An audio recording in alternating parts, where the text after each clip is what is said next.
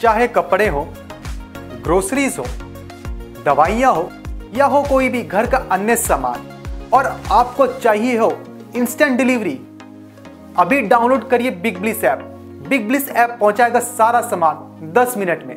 Big bliss app है खुशियों की अपनी दुकान।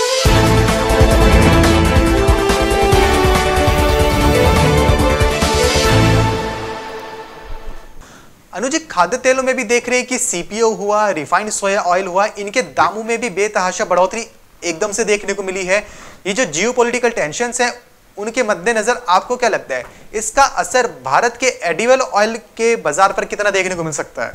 देखिए पूरा ही देखने को पड़ रहा है असर क्योंकि भारत सबसे ज़्यादा इंपोर्ट करता है। पेट्रोल के बाद कच्चे तेल के बाद पाम ऑयल ही हम सबसे ज़्यादा इंपोर्ट करते हैं। और उसका असर हम देख रहे हैं कि खाद्य तेलों में तेज़ी का रुख बनता हुआ दिख रहा है। तो जब तक ये इशू सॉल्व नहीं होता तब तक हम बाज़ार में एडिबल ऑयल में तेज़ी आते हुए देखेंगे।